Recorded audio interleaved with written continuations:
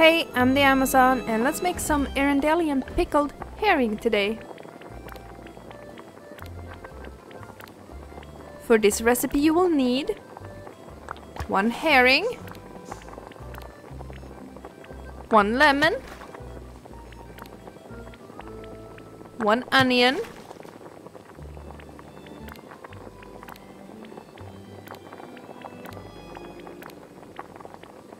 garlic,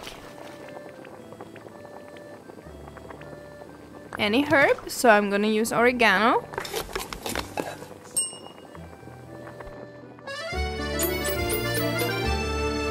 I hope this video helps and I will see you next time. Bye bye!